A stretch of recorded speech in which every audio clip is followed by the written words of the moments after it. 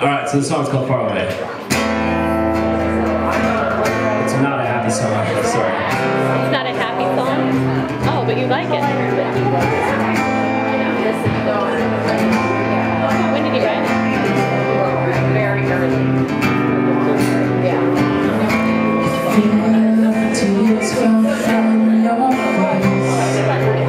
It's